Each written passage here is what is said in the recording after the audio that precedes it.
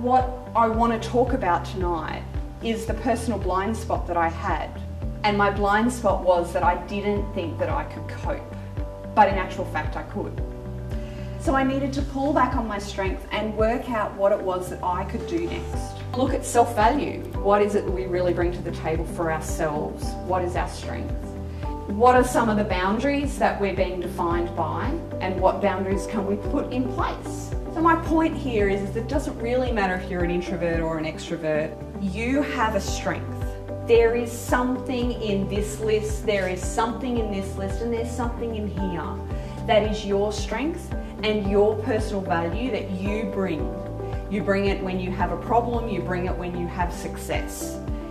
The point of these sessions is to get you to identify where you are and where you want to be.